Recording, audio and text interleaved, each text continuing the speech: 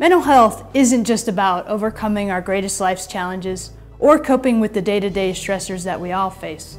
There are times where we really get to hone in on creating the mindset that allows us to be our very best selves under any set of circumstances, to thrive. And our best athletes know thriving doesn't just happen. It takes an approach and preparation, execution in the moment, and helpful reflection to be even better next time. Thriving is definitely independent of results.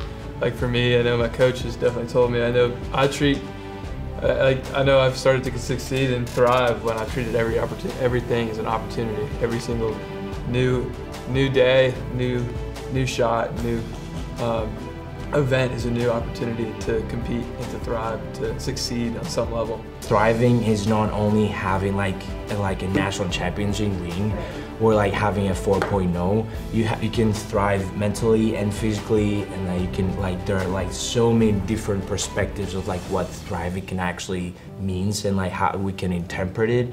But like thriving, it can like be being healthy, like being happy, being like all your family and like closest friends and family can be like being okay and like be like have a great like support group. One thing that I've learned over the past nine months is, fortunately for me, I was thankful enough to accomplish the goal that I set out to do. I, I won NCAA championships in Martian, and it was great.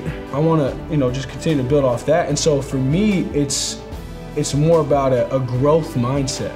Right. Right? And trying to be the best version of myself that I can be.